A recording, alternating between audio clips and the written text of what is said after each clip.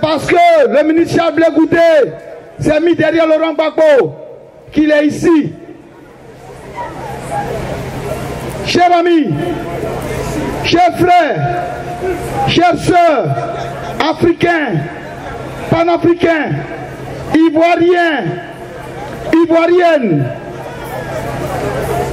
Laurent Gbagbo est celui-là même qui peut, qui va amener la stabilité et la paix en Côte d'Ivoire.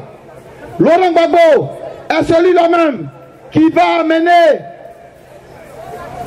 comme il a fait, la démocratie parce qu'en ce moment elle est bafouée, elle est embastillée, elle est emprisonnée en Côte d'Ivoire. Nous l'avons dit au départ, nous venons soutenir le président Laurent Gbagbo, mais en même temps, nous rendons hommage au président Aboudraman Sangaré. Oui, ce combat-là, autant nous le menons dans la rue, autant nous le menons dans la salle de conférence, autant nous le menons de façon diplomatique, il a été amplifié sur les réseaux sociaux.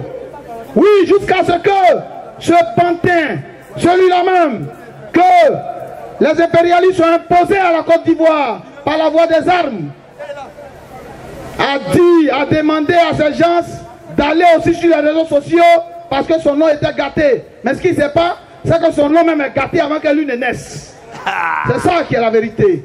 Donc je vais appeler ici d'abord le camarade Sibiko qui va appeler les cyberactivistes, ceux-là même sur les réseaux sociaux qui ont apporté un sommeil double à ce pion de la France et de la communauté internationale.